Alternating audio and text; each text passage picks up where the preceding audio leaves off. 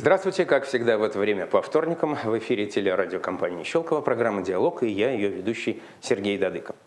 Напоминаю, что программа наша идет в прямом эфире. Вы можете звонить к нам в студию и задавать свои вопросы по телефонам 496, это код города, 567 1440 и 567 1450. Вопросы задавать можно моей сегодняшней гости. А в гостях у меня сегодня начальник отдела государственной статистики в Щелковском районе, а также в городах Лосино-Петровске, Фрязино и территориальном образовании «Звездный городок» Наталья Ильченко. Здравствуйте, Наталья Александровна. Добрый вечер. Вот когда речь заходит о статистике, всегда вспоминаются, конечно, наверное, первым делом слова наших классиков, которые писали, что статистика знает все, кроме одного. Сколько в стране у нас стульев. Но мы не будем говорить про стулья, естественно, и про все говорить тоже не будем. Будем говорить о том, чем занимается ваш отдел в нашем районе, ну и вот, естественно, в тех населенных пунктах, которые находятся рядом с нами. Э, вопрос такой, какие данные вы собираете? Ну, вы правильно начали с классиков. Э, да, действительно, статистика знает все. И мы, э, статистика, она существует давным-давно, 200 лет. А губернской статистике э, в 2015 году исполнилось 185 лет, был юбилей. И поэтому мы работаем давно на территории Щелковского района. Теперь еще с 2013 года мы работаем с респондентами и города Фрязина, и города Лосино-Петровского, и Звездного городка. И отдел наш занимается э, привычной для статистики работой, сбором и э, обработкой статистической отчетности. Естественно, мы проводим всевозможные обследования выборочные и сплошные обследования. Вот выборочные обследования у нас проводятся ежегодно. Э, я назову только несколько обследований, которые наш отдел провел в 2015 году. Это выборочное обследование доходов населения, это выборочное обследование участия в социальных программах населения, э, также условия жизни населения и информационное обеспечение нашего населения и многие-многие другие обследования – это выборочные обследования. Также в статистике статистику, э, на статистику возложено и проведение сплошных обследований. Но сплошные обследования – это серьезная э, российская такая всемасштабная работа, которая заключена в переписях в основном, конечно. Вот у нас всероссийская перепись населения э, была в 2010 году последняя, и вот маленькая была микроперепись в 2015 году. Также сплошные обследования – это сельскохозяйственные переписи и экономические переписи, которые, в общем-то, практически сейчас э, что-то уже идет, что-то готовится к подготовке. Вот таким вот образом наш отдел занимается такой а работой. Что значит, вот поясните, что значит сплошное обследование? Что прям вот всех, всех, всех, всех, всех опрашивается? Да, да? действительно. Нет, ну мы вот привыкли, это... что перепись вроде как приходит ко всем, но это когда большая перепись, да, там вот, государственная. Вот, вот именно... Про микроперепись мы еще поговорим более подробно, а вот сейчас э, хочется узнать вообще, какие методы более современные применяются сейчас, вот помимо того, что опрос, соцопрос, да, как мы его называем? Да, действительно, сплошное обследование, оно и определено этим словом, сплошное. Участниками переписи становятся все жители Российской Федерации, независимо от регионов. И в том числе, конечно, Щелковский район тоже был участником, э, каждый житель Щелковского района был участником нашей переписи. Э, также вот микроперепись, про которую вы только что сказали, действительно, она вот сейчас была в 2015 году и отличалась от переписи 2010 года тем, что она проводилась на планшетных компьютерах. Э, наши переписчики как раз ходили с этими планшетами э, к нашим респондентам и проводили опрос прямо вот онлайн. Ну вот я предлагаю вспомнить о том, как это было. Это было в октябре да, э, прошлого да. года наша телекомпания тоже свой вклад небольшой внесла да, в проведение да. этой переписи. Ролик мы показывали. Вот я предлагаю сейчас посмотреть его в несколько сокращенном варианте о том, э, как это выглядело. Осенью, в октябре 2015 года в России пройдет микроперепись населения. Несмотря на приставку «микро», масштаб мероприятия совсем не маленький. Микроперепись охватит все 85 регионов России. Будет опрошено 2,5 миллиона человек. Одних только переписчиков в проведении опроса будет задействовано более 6 тысяч. Всего в вопросном листе будет 28 вопросов. Первую очередь, переписчик выяснит состав семьи, задаст обычные вопросы переписи – пол, возраст, семейное положение, образование, гражданство. Но будут и узкоспециальные вопросы. Например, про состояние здоровья, наличие инвалидности, репродуктивные планы. Для чего же нужна микроперепись? В первую очередь, для получения актуальной информации о населении страны. Всеобщие переписи проводятся раз в 10 лет, но население меняется гораздо быстрее. В процессе развития общества появляются новые потребности в социально-демографической информации. Получить эту информацию и позволит микроперепись. На основе ее данных разрабатываются и уточняются меры социальной поддержки различных категорий граждан. Принимаются управленческие решения, касающиеся повышения рождаемости, качества услуг здравоохранения и образования. Так что приставка «микро» не должна вводить в заблуждение. Микроперепись – большое и важное для всей страны дело. Именно поэтому она пройдет под девизом «Мой дом – моя страна». Итоги пока не подведены. Но работу мы провели, и провели, в общем-то, достаточно успешно, э, потому что все-таки микроперепись – это действительно маленькая, э, маленький кусочек, который мы обследовали. Всего у нас работало в районе 8 человек – Э, по сравнению с 2006 8, в смысле, переписчиков? 8 переписчиков работало, которых мы привлекли к этой работе, обучили работе на планшетных компьютерах, обучили, как работать с респондентами, и они свою задачу выполнили. много вот, народу обошли? Они обошли, значит, в Щелково они обошли 1400 человек, и во Фрязино по 700 человек, и в Лосино-Петровском тоже 700 человек. Это немного. Ну вот для сравнения просто приведу цифру 2010 2010 года, там мы нанимали на работу 700 человек. Конечно, было, э, конечно, ну, вот так тогда вот. и охватили, наверное, всех Ну, а там почти, охвачено да? было, конечно, все население, а здесь было охвачено только полтора процента населения.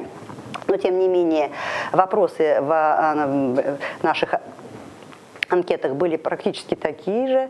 Э, немножко было добавлено нового, э, например, о здоровье респондентов спрашивали наши переписчики. Ну и вот эти итоги, они будут опубликованы только к концу 2016 года и будут опубликованы по субъектам Российской Федерации. К сожалению, скорее всего, э, вот какие данные по Щелковскому району мы, может быть, и, и не увидим. Но пока вот этот вопрос решается.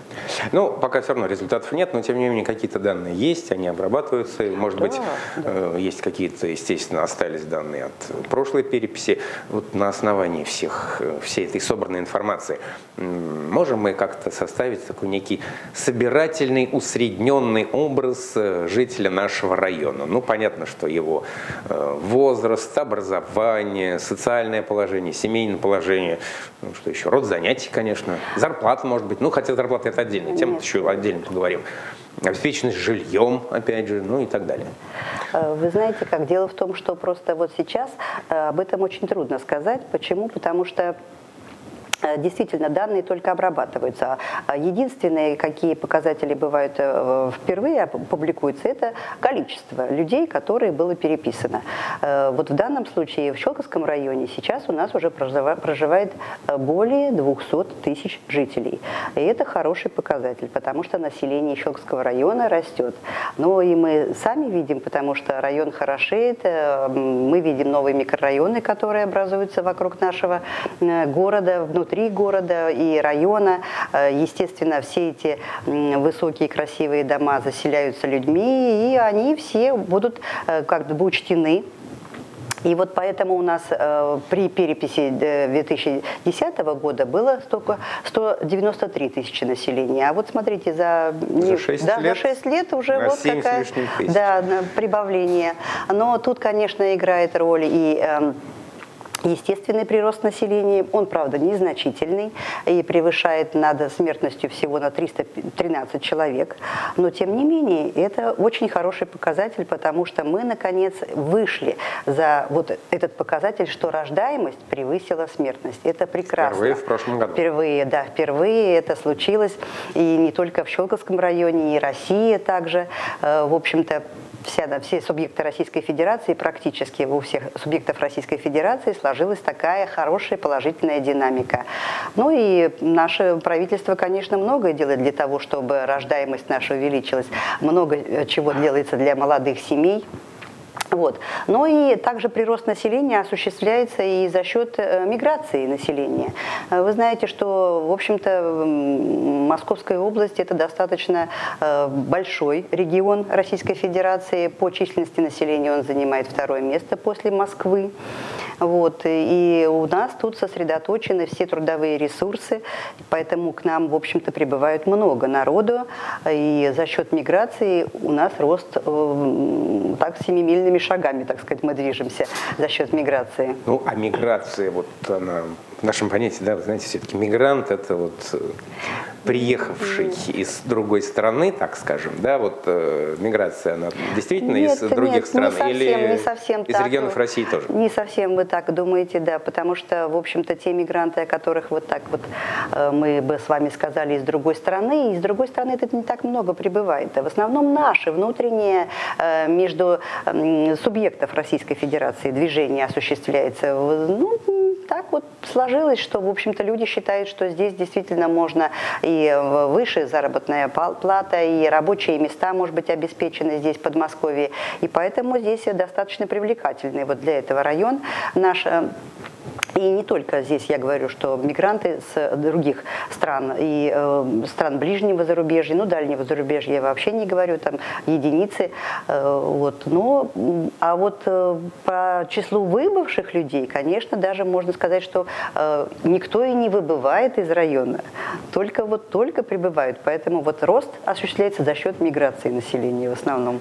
Ну, если можно, я тоже кое-какие цифры назову. Звучите, конечно. Потому что, во-первых, сказали, что э, население района примерно на 7 тысяч увеличилось за, э, 6 лет. за 6 лет, да, по, по итогам прошлой переписи 2010 года. Но вот а, по данным Мособлстата, да, вот вашего вроде как руководителя непосредственно, э, население нашего района за прошлый год, только за один год, увеличилось почти на 4, на 3, простите, тысячи человек 900, в общем-то, может быть, конечно, не очень большая цифра, да, если по отношению к общей численности населения, но, тем не менее, э, наш район вот, по этой статье занял э, четвертое место в области. Э, впереди по, так сказать, приросту только Красногорский и Ленинский район, у них там где-то в районе 4 тысяч прирост, и городской округ Балашиха, у них там уже там, правда, за 8 тысяч действительно застраивается да, этим. Мощно. И такая тенденция есть эм, ну это везде, если посмотреть все районы, все наши муниципальные образования областные, что чем ближе к Москве, э, тем больше прирост населения. Да? Чем это, дальше, это верно. там прироста нет, там даже убывает. Ну, я сейчас не буду нет, говорить, есть районы, называть которые эти районы, достаточно... но все известно, что даже вот чем дальше от Москвы, тем, тем меньше, тем меньше тем становится меньше народу. Соответственно, ну, близость к у нас, а у нас вот нельзя сказать, что очень близко, да, все-таки на границе мы, находимся, да, на границе, но тем не менее, тем не менее, жители нашего района очень охотно ездят на, э, на работу в Москву, потому что э, такая информация у нас собирается собирается, но в рамках э, выборочного обследования, понимаете, она не дает объективной картины, но тем не менее э, рабочие места в районе э, могли бы быть и больше. И, может быть, возможностей надо расширять наши потому что все-таки большая часть населения движется в столицу нашей Родины. Там, там заработки, очевидно, лучше, выше, может быть, рабочие места престижнее. Вот, нам надо к этому тоже стремиться. Ну, а вот прогнозы какие-то есть? Продолжится ли эта тенденция, я имею в виду, к увеличению населения? К увеличению населения, конечно, конечно. Вы знаете, что э, в нашем районе даже образовался новый населенный пункт. Э, вот в Анискинской администрации у нас, в Анискинском сельском поселении у нас теперь новый населенный пункт Анечкова появился. Э, это целиком населенный пункт создан э, буквально за несколько лет, э, воздвигнуты огромные э, новостройки там, и вот даже добился статуса населенного пункта. Вот эта вот застройка это добилась населенного статуса населенный пункт. Поэтому, конечно, э, тенденция к нашему росту есть. Э, будут э, расти и дальше, наверное, наши микрорайоны и сельские поселения наши тоже активно включились в жилищное строительство. Да, тенденция такая есть. Ну, давайте вернемся опять же к некому собирательному портрету жителей нашего района. Опять же, я обращаюсь вот к областной статистике. Это такие гендерные различия. Да? Вот всего в Подмосковье на тысячу женщин приходится всего 858 мужчин. 859 это вот в позапрошлом году, а 858 в прошлом. Э, такое э, соотношение неравное полов, да, конечно, связано с преждевременной смертностью мужской, образом жизни и так далее. Э, а вот средняя продолжительность жизни, ну, тоже, естественно, мужчин меньше, правда, да, сейчас уже превысила пенсионный возраст. Сейчас она 66 лет у мужчин и 77 у женщин. По прогнозам, к 30 году она возрастет с нынешних 72, это средний, до 75, соответственно, 70 у женщин, 70 у мужчин и 79 у женщин. Э, вот у нас тенденция такая существует? Ну, мы, смотрите, мы увеличению не, продолжительности не уходим, жизни. так сказать, от, вот, от данных статистики, которые опубликованы. Э, в общем-то, э, Щелкский район ничем не отличается от вот этой вот тенденции, и такая же у нас и будет сохраняться.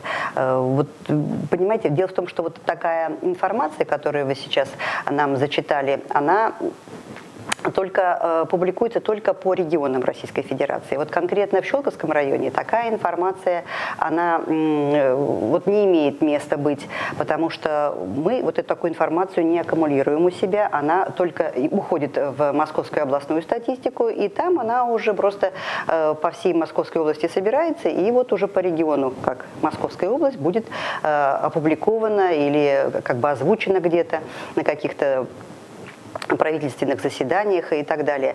А вот, э, ну, я думаю, что просто жители Щелковского района такие же, как и все. Ну, а теперь тогда давайте поговорим о хлебе насущном, как говорится. Да? Вот в начале программы вы упомянули, что собираете вы сведения о зарплатах, э, об уровне жизни. Понятно, время сейчас у нас тяжелое, кризис как, опять же, региональная статистика заявляет, ну и в целом в стране тоже, цены за год выросли, ну, на основные продукты, товары, услуги, выросли в среднем на 10%. Ну, где-то чуть больше, где-то чуть меньше. На... И на услуги ЖКХ тоже. Хотя вроде кажется, что не, не на 10%, а значительно может быть, больше. больше, да, может быть вот. и больше. Но тем не менее, жить стало Сложнее, тяжелее, да. да. И вот э, Мы с вами вчера только да, сообщение такое было, что вот премьер-министр наш э, уменьшил даже прожиточный минимум в целом по стране, ну, который вроде как повышали, повышали, а сейчас раз и опять на 200 рублей меньше. Да. А вот какие у нас сейчас доходы? Как живем? Вы, дело в том, что, знаете, как мы, э, в наш отдел статистики у нас есть специалист, который занимается исследованием потребительских цен. Но Корзину мы исследуем не целиком. У нас всего 32 наименования продуктов, которые наш специалист отслеживает цены на эти продукты. Э, и они участвуют в потребительской корзине, конечно, но это не полная корзина. А федеральное наблюдение ведется в отдельных наших отделах статистики, но вот в наш район не попало такое обследование. Ну, ничего страшного. Но дело в том, что мы э, просто вот все наши сетевые магазины, которые у нас на территории Щелковского муниципального района расположены, они все равно участники наши. Мы э, у них информацию забираем, ее э, аккумулируем у себя, систематизируем каким-то образом, и она уходит на вышестоящий уровень. И поэтому вот мне трудно сказать, насколько выросла наша корзина именно в Щелковском районе, э, потому что она, мы не участники этого федерального обследования. Э, но, тем не менее, вы сказали, что вот назвали цифру, да, 32 продукта. Имеется в виду продукты питания, да, да съедобные? продукты питания. Но помимо продуктов-то еще существуют всякие одежда, обувь, я не знаю, зубная паста, ну и так далее, и так далее. И так далее. Это и я так не далее. говорю про ЖКХ, конечно, который тоже существует. Нет, огромное количество показателей собирается по Московской области. Просто я вам еще раз повторяю, что мы не участники этого федерального обследования, мы участники регионального обследования, которое вот нам определено э, нашими, так сказать, работодателями, и мы вот эту программу выполняем. Выполняем э, правильно, достойно, э, цены отслеживаем э, в установленные сроки, в определенное время все это э, нашим специалистам Э, значит, заносится в программу и э, выдается какая-то информация по ней, но она вот э, уходит только на уровень Московской областной статистики и по Щелковскому району не публикуется.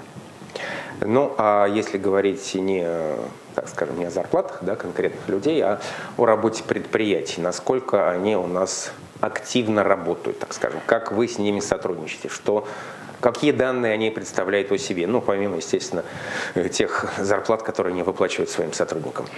Мы работаем э, с респондентами нашего Щелковского района, и, как я вам говорила, что уже город Ифрязино э, является э, нам мы с ним работаем и с Фрязиной, и с Лосино-Петровским, и э, все юридические лица, в общем-то, они являются нашими респондентами. Но в той или иной степени мы работаем, допустим, ежемесячно с какими-то э, предприятиями, с какими-то мы работаем ежеквартально, с какими-то раз в году только э, мы с ними встречаемся только раз в году.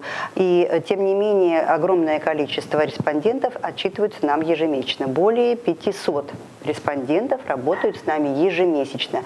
И мы получаем от них унифицированные формы э, федерального статистического наблюдения, э, и по этим показателям какая-то строится, прогнозы строятся какие-то, различная информация выдается, информация эта востребована всегда э, на органами местного самоуправления, мы с ними тесно контактируем всегда. Вот, поэтому мы э, работаем со всеми респондентами нашего Щелковского района. Также вот и участники э, нашего обследования бывают и индивидуальные предприниматели. Раз в году мы у них забираем информацию, но они с нами тоже работают. Но они входят вот в этот 500 Нет, нет, нет, нет, нет. Что, это только юридические лица. Это только юридические лица. А, в основном это крупный, э, крупный и средний бизнес, который работает с нами, и муниципальные предприятия, которые расположены на территории Щелковского муниципального района. Сейчас попробую экономическими знаниями блеснуть, но по шпаргалке, если можно, да. Э, в Московской области в прошлом году так называемый сальдированный финансовый результат, это э, прибыль минус убыток организаций без субъектов малого бизнеса, без банков, страховых компаний, э, без бюджетных организаций. Ну, в общем, производители угу. такие, скажем, действительно, кто, кто, кто что-то делает. Э, так вот, э, как раз вот этот вот самый результат э, составил всего лишь 88% по сравнению с за прошлым годом.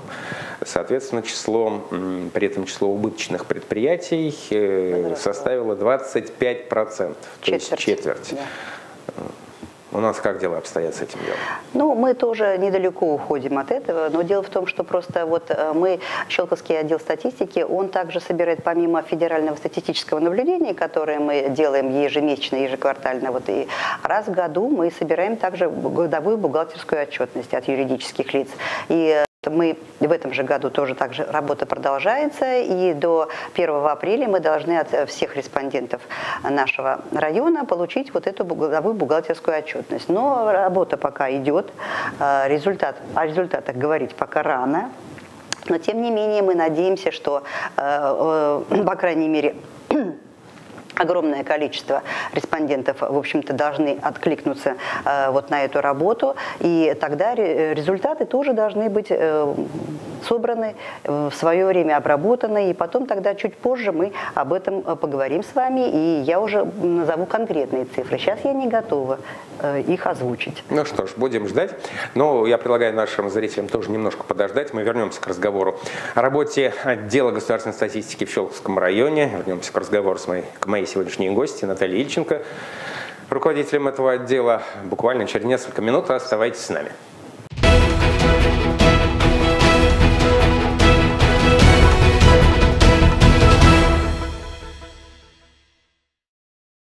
Продолжаем программу «Диалог». Напоминаю, что идем мы по-прежнему в прямом эфире. Напоминаю телефон, номера телефонов, по которым можете звонить к нам в студию 496, код города 567 1440 и 567 1450. Звоните и задавайте свои вопросы, потому что вы можете узнать очень интересные цифры, которые сегодня о которых сегодня нам рассказывает начальник отдела государственной статистики в Щелковском районе, а также в городах Лосино-Петровске, Фрязино и Звездном городке Наталья Ильченко. Еще раз добрый вечер, Наталья Александровна.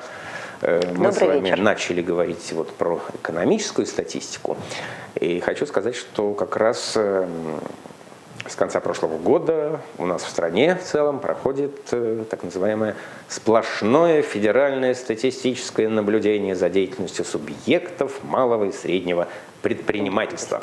Э, ролик можно посмотреть у нас на канале. Мы тоже сейчас его посмотрим, чтобы понять, о чем идет речь, чтобы наши зрители поняли, о чем идет речь.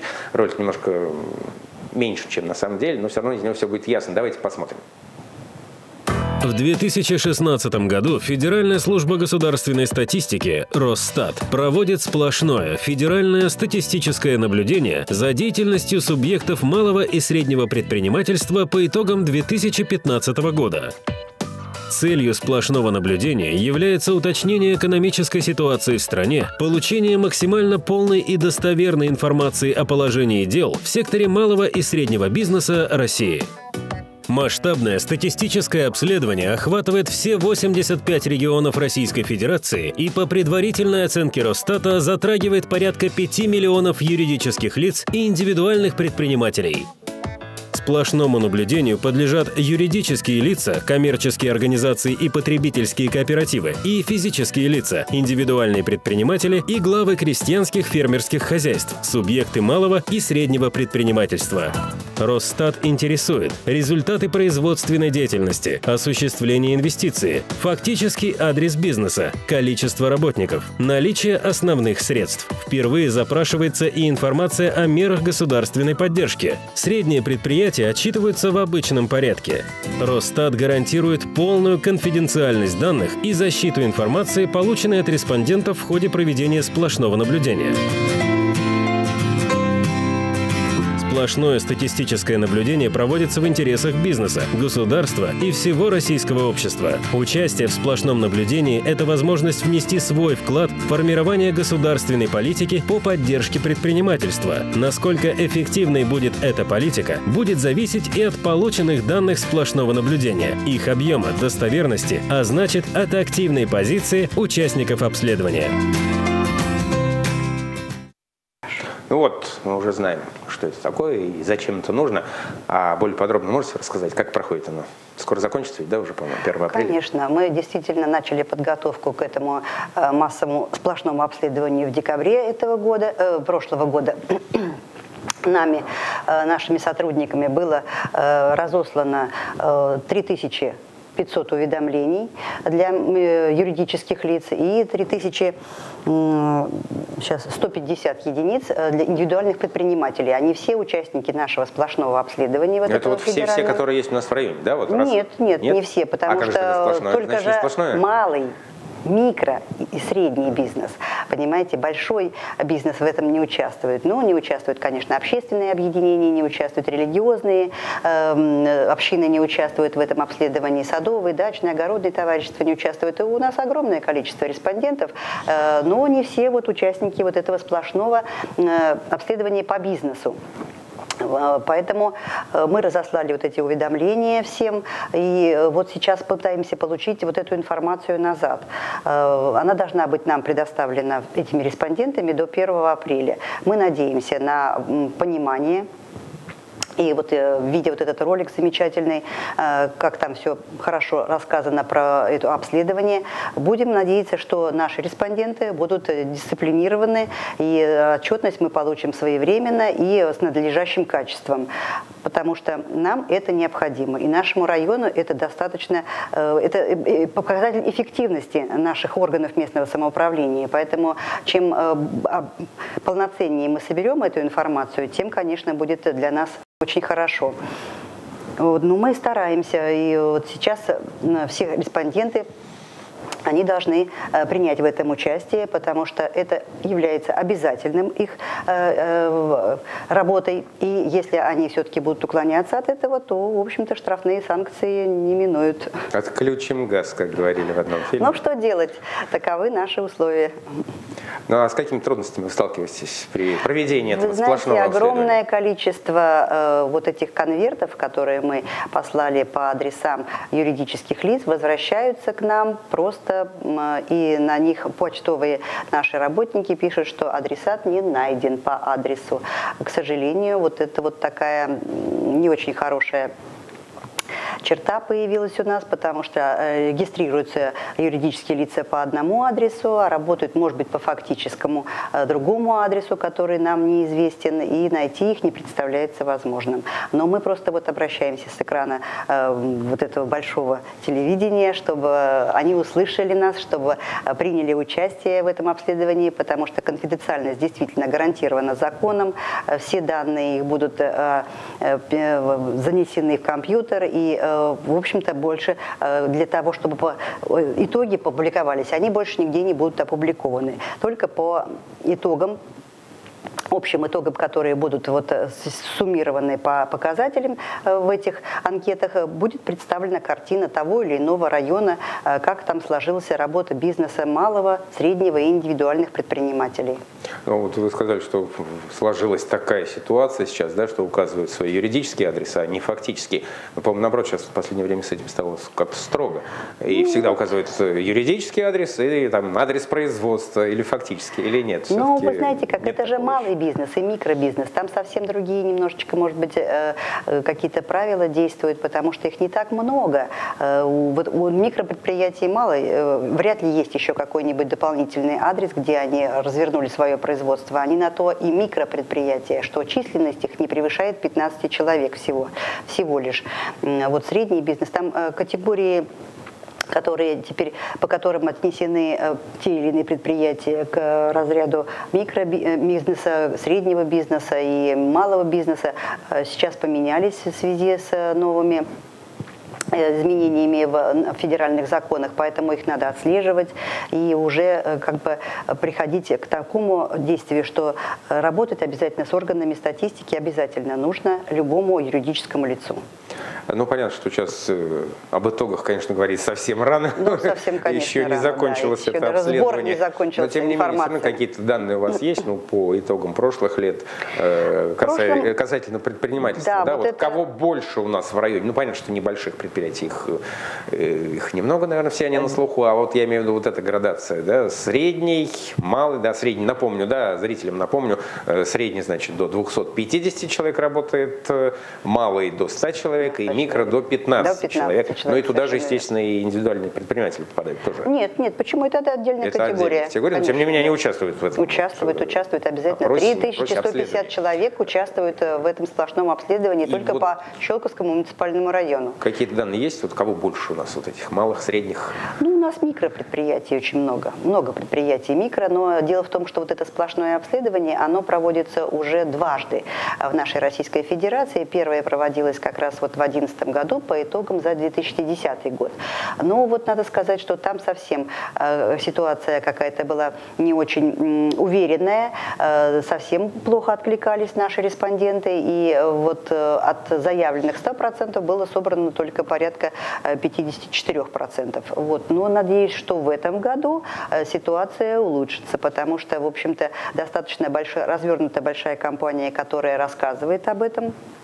И мы вот с вами ролик видели, и э, э, мы плакаты развешивали различные, и налоговую инспекцию мы подключали к этому, и органы местного самоуправления с нами очень активно э, участвуют в э, привлечении юридических лиц вот к сплошному этому обследованию. Поэтому я надеюсь, что в этом году мы получим гораздо лучшие результаты.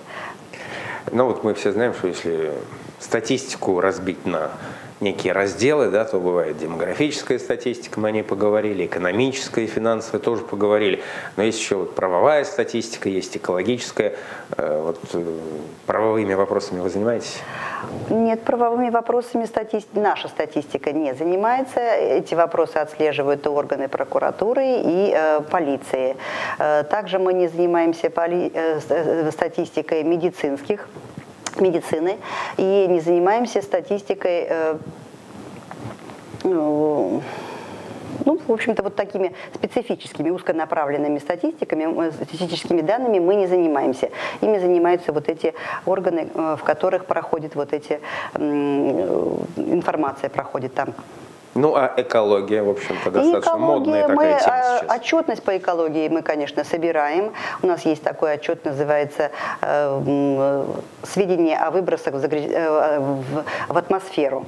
Но, вы знаете, сдают ряд организаций и предприятий, которые работают на территории Щелковского муниципального района, но все выбросы которые они осуществляют, они показывают нам, что они все выбрасывают в пределах, в пределах нормы. нормы. Да, да, да. Несмотря на то, что мы с вами, в общем-то, можем э, ощущать и не Иногда совсем здоровую запах, обстановку да, да, в нашем э, районе, но, тем не менее, вот, вот запахи как-то не учитываются в нашей статистике. Э, ну, а что будет, э, опять же, прогнозы, да, не занимаетесь? Если у нас будет все больше и больше предприятий, с экологией будет все равно все хорошо. Я думаю, да, потому что сейчас любое предприятие, которое регистрируется с э, производственной деятельностью, их обязывают, в общем-то, соблюдать все эти экологические нормы, которые и экологические технологические процессы, которые не позволяли бы им совершать вот такие вот неприятности, которые бы отравляли нам воздух и, в общем-то, наше настроение и настрой жителей. Э, и сейчас с этим, в общем-то, достаточно все упорядочено. И я думаю, что руководители руководствуются этим. И, в общем-то, им от этого только э, спокойнее работается.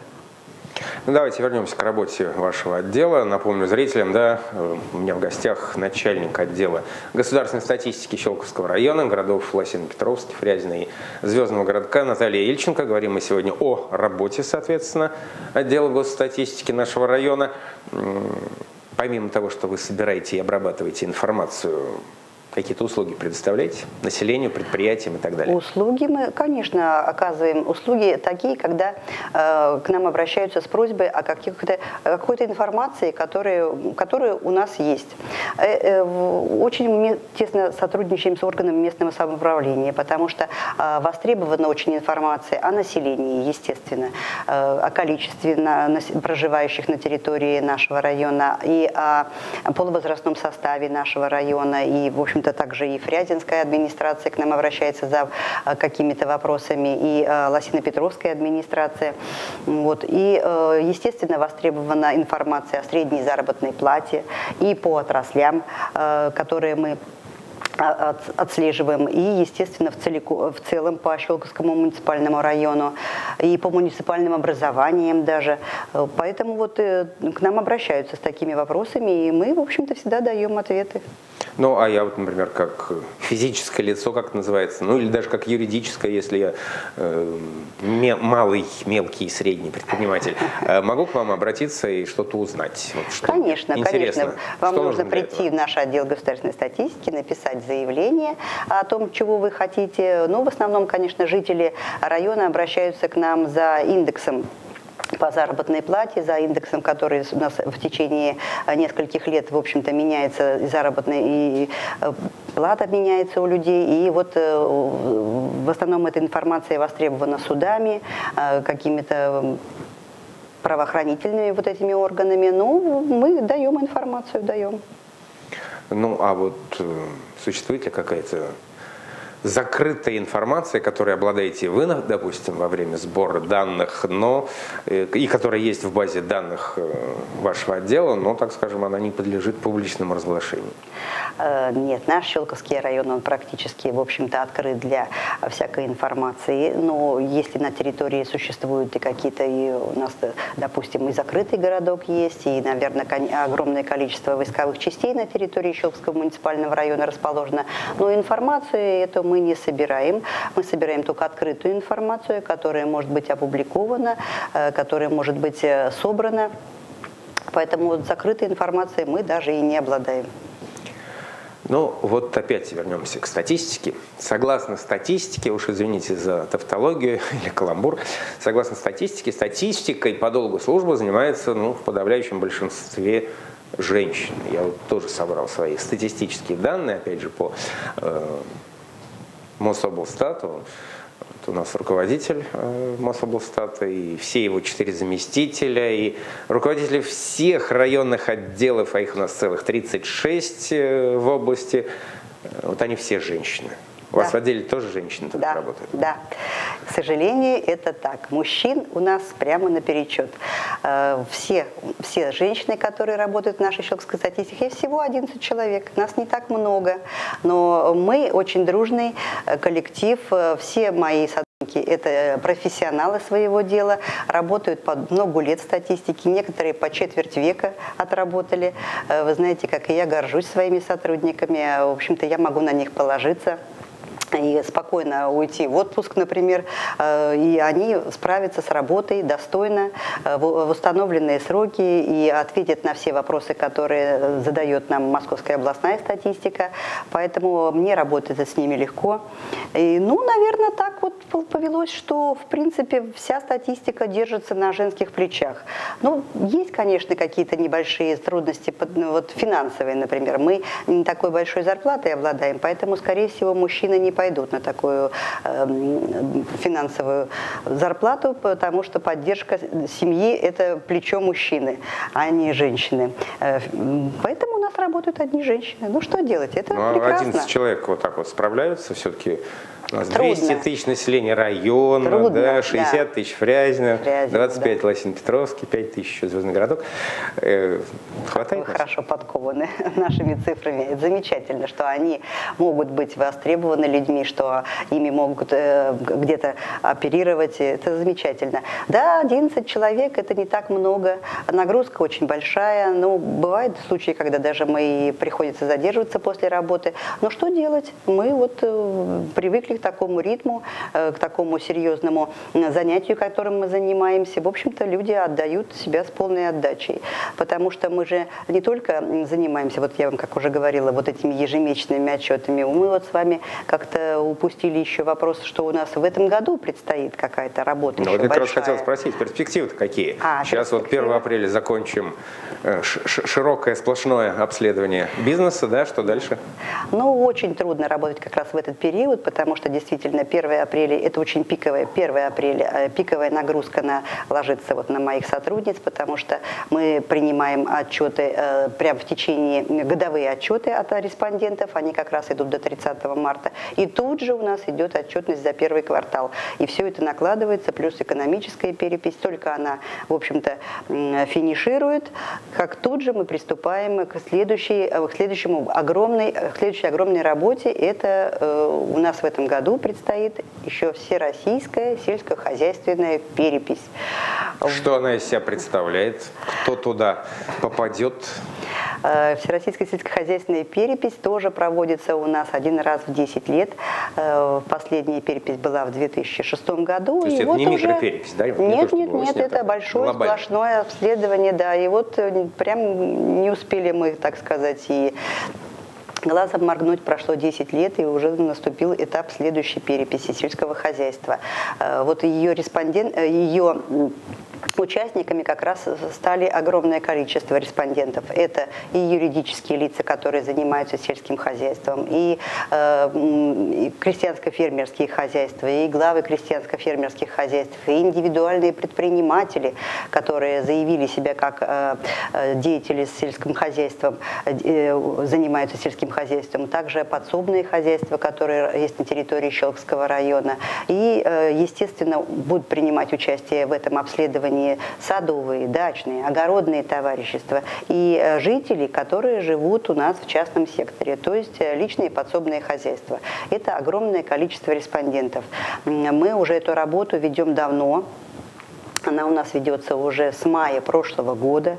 Э, мы собирали информацию о том, о респондентах, о наших, э, запрашивали все наши муниципальные образования, в общем-то, предоставили нам э, какие-то ответы, и мы ими воспользовались. И на основании вот этих вот списков, которые мы у себя собрали, мы составили организационный план проведения Всероссийской сельскохозяйственной переписи, который пройдет на территории Щелковского района и будет проводиться с 1 июля по 15 августа. Э, собрали информацию. Самые все. эстрадные пора. Да, самые эстрадные. Но она, вы знаете, как раз для Всероссийской сельскохозяйственной переписи самые подходящие, потому что, в общем-то, нужно обязательно обращаться вот к жителям, живущим на земле. Они в это время как раз там находятся. Ну вот вы сказали, что будут, э, попадут туда под эту перепись еще и участники, не знаю, как сказать, члены да, садово-огородных товариществ.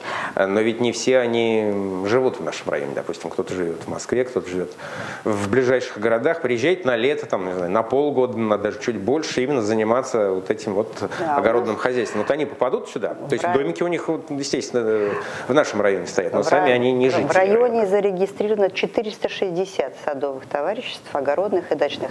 А, они все являются нашими участниками, но а, переписчик пойдет в садовое товарищество а, не ко всем членам кооператива, а только выборочно. Вот эту выборку определил наш, нам, определила Московская областная статистика, и поэтому не все будут задействованы члены кооператива, но все садовые товарищества. Это однозначно. Они все будут участниками, и мы будем с ними работать, будем их находить, где они находятся, под ЛЭП или где-то там еще в стороне от какой-то э, деревни нашей находятся.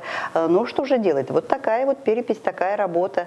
Э, мы определили количество переписного персонала, который будет работать с нами в эту перепись. Э, у нас будет 38 переписчиков работать.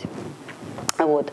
Определились даже э, суммы вознаграждений, которые будут э, выданы этим. Э, Назовите, привлеките Озвучьте, да. Это будет 16 200 рублей в месяц переписчик может заработать, а работать он будет два месяца. Вот. Но и объектов у него в этот раз немножко больше, чем в прошлую перепись, но и времени дается для того, чтобы пройти эти объекты больше, чем в прошлую перепись. Поэтому я думаю, что все соизмеримо. Вот, и если есть желающие такие, то пусть обращаются в отдел государственной статистики, мы будем рассматривать их предложения.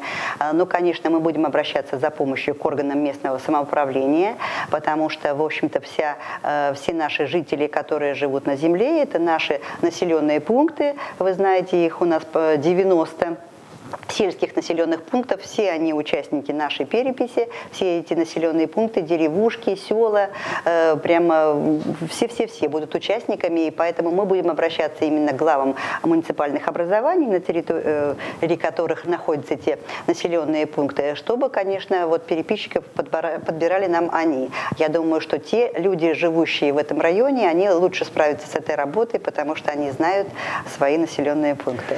Большое спасибо, Наталья Александровна, за ответы на вопросы. Спасибо, что нашли время прийти к нам в студию. Напомню, что сегодня в гостях у программы «Диалог» была начальник отдела госстатистики в Щелковском районе Наталья Ильченко. Спасибо еще раз. Спасибо. До свидания. Смотрите нас каждый вторник на Щелковском. Счастливо.